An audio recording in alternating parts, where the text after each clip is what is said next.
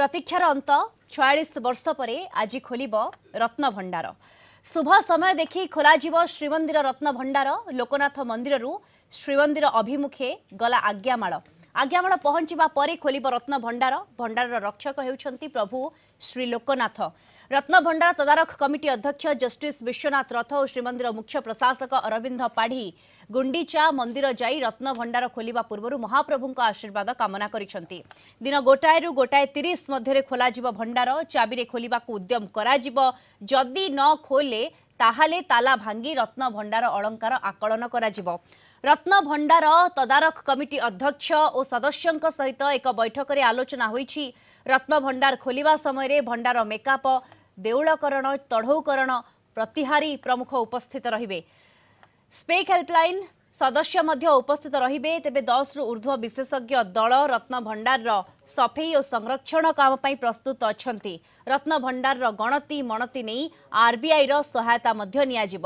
ରତ୍ନଭଣ୍ଡାର ଖୋଲିବା ସମୟରେ ଆର୍ବିଆଇର ପ୍ରତିନିଧି ଉପସ୍ଥିତ ରହିବେ। ଅଳଙ୍କାରର ସଂଖ୍ୟା ମାନ ଏବଂ ଓଜନ ନିର୍ଦ୍ଧାରଣ କରାଯିବ। ଅଳଙ୍କାରଗୁଡ଼ିକର ଡିଜିଟାଲ ଫଟୋଗ୍ରାଫି ହେବ।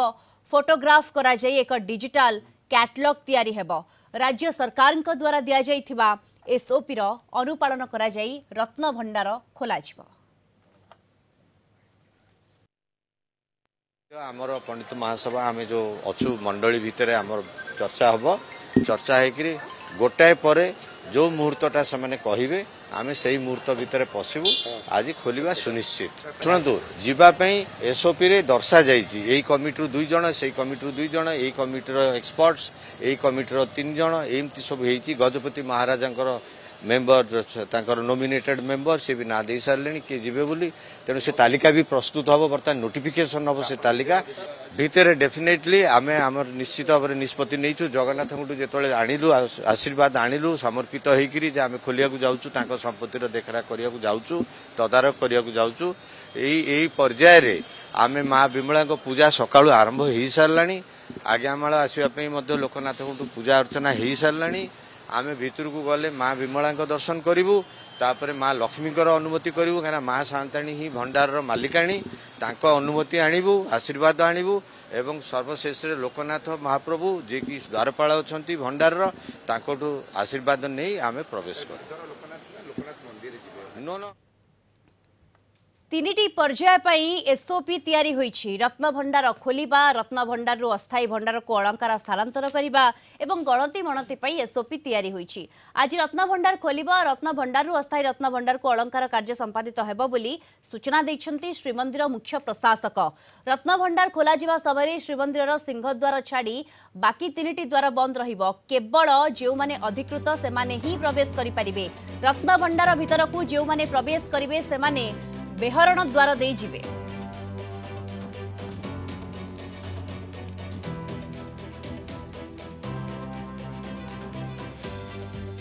ଆଜି ଜୁଲାଇ ମାସର ଚଉଦ ତାରିଖ ଦୁଇ ହଜାର ଚବିଶ ମସିହା ରାଜ୍ୟ ସରକାରଙ୍କର ଅନୁମୋଦିତ ଯେଉଁ ଏସ୍ଓପି ଅନୁଯାୟୀ ରତ୍ନଭଣ୍ଡାର ଖୋଲିବାର ବ୍ୟବସ୍ଥା କରାଯାଉଛି।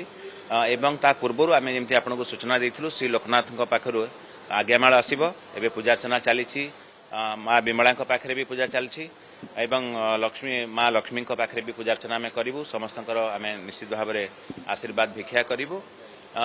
ତାପରେ ଯେଉଁ ମେମ୍ବର୍ସ ଅଛନ୍ତି ଏସ୍ଓପିରେ ଯେଉଁ ମେମ୍ବର୍ସ ମାନେ ଅଛନ୍ତି ତାଙ୍କ ସାଙ୍ଗରେ ପ୍ରଥମେ ଯେଉଁ ବୈଠକ ହେବ ସେଟା କେବଳ ହାଇ ଲେଭେଲ କମିଟିର ବୈଠକ। ସେଟା ଯେଉଁମାନେ ଭିତରକୁ ଯିବେ ତାଙ୍କର ନୁହଁ। ଆମେ ଆଗତୁରା ଯିବା ପାଇଁ ଚାହୁଁଛୁ। ଗଲା ପରେ ସେଇଠି ସମସ୍ତଙ୍କ ସାଙ୍ଗରେ ଆଲୋଚନା କରାଯିବ। ଯେଉଁ ଏସ୍ଓପି ଅଛି ସବୁ ସଦସ୍ୟମାନଙ୍କୁ ଜଣେଇ ଦିଆହେବ ଯେ କେମିତି ସେମାନେ ଆଚାର ବ୍ୟବହାର କରିବେ କ'ଣ କରିବେ। କାରଣ କିଛିଟା ଡିସିପ୍ଲିନ୍ ରହିବାକୁ ପଡ଼ିବ। ତିନୋଟି ପର୍ଯ୍ୟାୟରେ ଏସ୍ଓପି ଆସିଛି। ଗୋଟେ ହେଲା ଯେଉଁ ତାର ଖୋଲିବା ରତ୍ନଭଣ୍ଡାର ଖୋଲିବାର।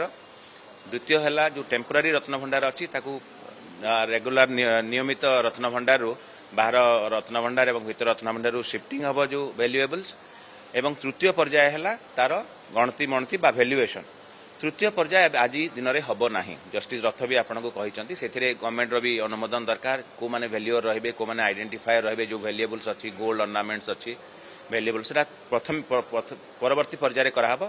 ଆଜି ଆମେ ଆଶା କରୁଛୁ ମହାପ୍ରଭୁଙ୍କ କୃପାରୁ ଯେ ରତ୍ନଭଣ୍ଡାରର ଯେଉଁ ଚାବି ଖୋଲିବା ପ୍ରଥମ ଦଫାରେ ଯାହା ଅଛି ଏସ୍ଓପିରେ ତାକୁ କରାଯିବ। ଏବଂ ତାପରେ ଯାହା ନିର୍ଦ୍ଦେଶ ଥିବ ଠାକୁରଙ୍କର ସେହି ହିସାବରେ କାର୍ଯ୍ୟ କରାଯିବ ଯେହେତୁ ଆସନ୍ତାକାଲି ଅ, ବାହୁଡ଼ା ଯାତ୍ରା ବି ଅଛି ତାକୁ ବି ଆମେ ଗୁରୁତ୍ୱର ସହିତ ନେଉଛୁ। ବିଭିନ୍ନ ନିଯୋଗ ସାଙ୍ଗରେ ଆମେ ବୈଠକ କରୁଥିଲୁ ଗଲା କିଛି ଦିନ ଧରି ଏବଂ ଆଜି ମଧ୍ୟ ଆମେ ବିଭିନ୍ନ ନିଯୋଗର ପ୍ରତିନିଧିମାନଙ୍କ ସାଙ୍ଗରେ ବ୍ୟକ୍ତିଗତ ଭାବରେ ଆଲୋଚନା କରିଛୁ। ଆମେ ଆଶା କରୁଛୁ ସମସ୍ତଙ୍କର ସହଯୋଗ ରହିବ ଏବଂ ଶ୍ରୀ ଗୁଣ୍ଡିଚା ଯାତ୍ରା ମଧ୍ୟ ଠିକ୍ ହିସାବରେ ସମ୍ପାଦିତ ହେବ। ଆମେ ଯେତେବେଳେ କମିଟି ଯିବେ ଅ, ରତ୍ନ ଭଣ୍ଡାର ଅ, ମ, କାର୍ଯ୍ୟ ପାଇଁ ସେତେବେଳେ ଅ, ଅ, ସାମୟିକ ଭାବରେ କଟକଣା ରହିବ। ଅ, ସ- ଅ, କେବଳ ପୂର୍ବ ଦ୍ୱାର ବା ସିଂହ ଦ୍ୱାରକୁ ଛାଡ଼ିକରି ବାକି ଦ୍ୱାରଗୁଡ଼ିକ ବନ୍ଦ ରହିବ। ଏବଂ ଯେଉଁମାନେ ଅଧିକୃତ ଥିବେ ଯାହାଙ୍କର ସେବା ପୂଜା ଥାଇପାରେ ଯେଉଁ ପାର୍ଶ୍ୱ ମନ୍ଦିର ଗୁଡ଼ିକରେ ସେମାନଙ୍କୁ ଯିବା ପାଇଁ ଆମେ ଅନୁମତି ଦେବୁ। ଏବଂ ଯେଉଁମାନେ ଅଧିକୃତ ହୋଇଛନ୍ତି ଯେଉଁ ଅଧିକାରୀ ହୁଅନ୍ତୁ ସେବାୟତ ହୁଅନ୍ତୁ କିମ୍ବା ଅନ୍ୟାନ୍ୟ ବ୍ୟକ୍ତି ବିଶେଷ ହୁଅନ୍ତୁ ଯେଉଁମାନେ ଅଧିକୃତ ଅଛନ୍ତି ସେମାନେ ପୋଲିସ କର୍ମଚାରୀମାନଙ୍କୁ ଯେଉଁ ଆମେ ଲିଷ୍ଟ ଦେଇଛୁ ଚିଠା ଦେଇଛୁ ତାକୁ କରାଯିବ। ଏ, ରତ୍ନ ଭଣ୍ଡାର ଯାଞ୍ଚ ପାଇଁ ଏବଂ ଅଲଗା ଯେଉଁ କମିଟିର ସଦସ୍ୟମାନେ ବି ଯେତେବେଳେ ଯିବେ ବେହରଣ ଦ୍ୱାରରେ ଏସ୍ପି ପୁଲିସଙ୍କ ଦ୍ୱାରା ସେଇଠି ଫ୍ରିସ୍କିଂ କରାଯିବ ଯାଞ୍ଚ କରାଯିବ ଭିଡ଼ିଓଗ୍ରାଫି କରାଯିବ ଯେଉଁ ପ୍ରାଧିକୃତ ଭିଡ଼ିଓଗ୍ରାଫର ଅଛନ୍ତି ତାର ଭିଡ଼ିଓଗ୍ରାଫିର ବି ଆମେ ତାକୁ ଅ, ଯେଉଁ ଏସ୍ଓପି ଅଛି ତାକୁ ବି ଫଲୋ ଅପ୍ କରିବୁ ବେହରଣ ଦ୍ୱାର ଦେଇକି ଏଣ୍ଟ୍ରି ହେବ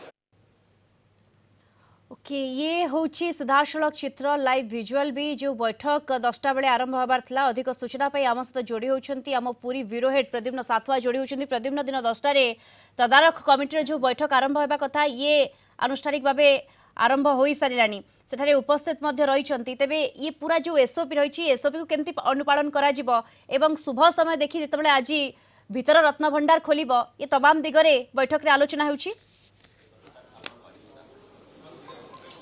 ଦେଖନ୍ତୁ ବର୍ତ୍ତମାନ ଆରମ୍ଭ ହୋଇସାରିଲାଣି କିଛି ସମୟ ପୂର୍ବରୁ ଆ, ତଦାରଖ କମିଟିର ହାଇ ଲେଭେଲ କମିଟିର ଯେଉଁ ବୈଠକଟି ବୈଠକରେ ଆମେ ଯେମିତି ଦେଖୁଥିଲେ ଯେ ଜଷ୍ଟିସ ରଥ ଅଛନ୍ତି ମୁଖ୍ୟ ପ୍ରଶାସକ ଅଛନ୍ତି ଜିଲ୍ଲାପାଳ ଅଛନ୍ତି ଏବଂ ବରିଷ୍ଠ ସଦସ୍ୟମାନେ ମଧ୍ୟ ଉପସ୍ଥିତ ଅଛନ୍ତି ଏବଂ ବିଶେଷ କରି ଆମେ ଦେଖୁଥିଲୁ ଯେଉଁ କୋଡ଼ିଏ ଜଣିଆ ବୈଠକ ଆ, କମିଟି ରହିଛି ସେ କମିଟିର ଅଧିକାଂଶ ସଦସ୍ୟ ଆ, ସେମାନେ ଆସିସାରିଲେଣି ଏବଂ ଆ, ଆ, ଏଇ ବୈଠକର କ'ଣ କ'ଣ ପ୍ରସଙ୍ଗ ରହିବ କ'ଣ ମୋଡ- ରହିବ ଆଜେଣ୍ଡା ରହିବ ସେ ସମ୍ପର୍କରେ ମୁଖ୍ୟ ପ୍ରଶାସକ ସମସ୍ତଙ୍କୁ ଅବଗତ ମଧ୍ୟ କରିଛନ୍ତି ଏବଂ ଆ, ଖୁବ୍ କମ୍ ସମୟ ଭିତରେ ଆ, ସେମାନେ ଆ, ବିଭିନ୍ନ ସ୍ତରର ନିଷ୍ପତ୍ତି ନିଷ୍ପତ୍ତି ନେବାକୁ ଆ, ଚାହିଁବେ।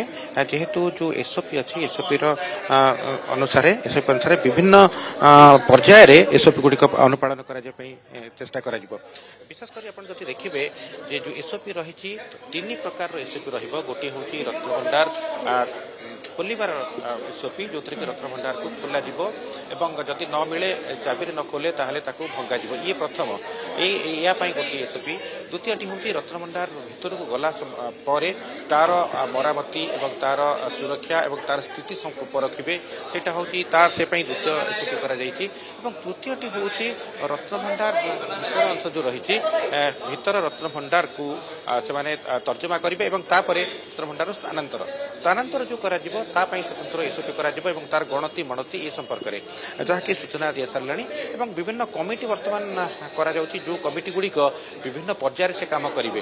ଏବଂ ଯାହା ମଧ୍ୟ ସୂଚନା ଆମକୁ ଦେଉଥିଲେ ଯେ ସେମାନେ ମା ବିମଳାଙ୍କ ନିକଟରେ ମଧ୍ୟ ଶରଣାପନ୍ନ ହୋଇଛନ୍ତି। ତା ସହିତ ଜଗନ୍ନାଥ ମନ୍ଦିରକୁ ଗୁଣ୍ଡିଚା ମନ୍ଦିରରେ ମହାପ୍ରଭୁଙ୍କର ମଧ୍ୟ ଆଶିଷ ଲିଭା- କରିଛନ୍ତି।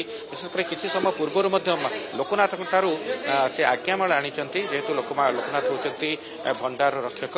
ତେଣୁ ସେ ମଧ୍ୟ ଆ, ସେଠାରେ ମଧ୍ୟ ସେ କାର୍ଯ୍ୟ ଚାଲିଛି।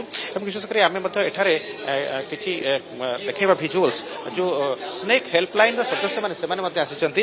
ଏପଟେ ଏ, ଶୁଭେନ୍ଦୁ ବାବୁ ଅଛନ୍ତି। ତାଙ୍କର ଆମେ ଏ, ଚାହିଁବା ପ୍ରତିକ୍ରିୟା ଆପଣଙ୍କୁ ମଧ୍ୟ ଏଥିରେ ସାମିଲ କରାଯାଇଛି। ଆଜି ରତ୍ନଭଣ୍ଡାର ଖୋଲିବା ପାଇଁ ବିଗତ ଦୁଇ ହଜାର ଅଠରରେ ମଧ୍ୟ ଆପଣ ଯାଇଥିଲେ। ତ ବର୍ତ୍ତମାନ ଆପଣ କେତେ ଜଣ ସଦସ୍ୟ ଆସିଛନ୍ତି? କ'ଣ କ'ଣ ଆପଣଙ୍କର ପ୍ରାୟୋରିଟିଜ୍ ରହିବ ରତ୍ନଭଣ୍ଡାର ଖୋଲିବା?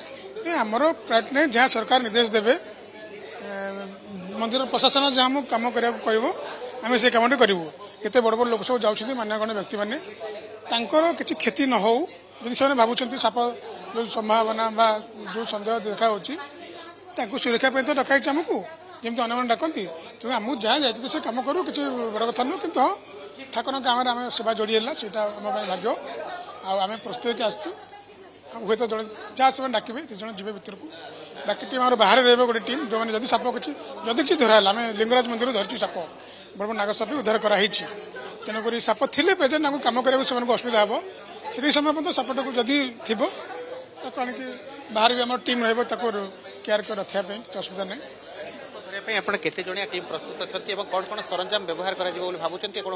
ନର୍ମାଲ ଯେଉଁ କାମ ବ୍ୟବହାର ଯେଉଁ ଯାହା ଜିନିଷ ସାପ ଧରିବା ସବୁ ଜିନିଷ ଆମେ ଆଣିଛୁ।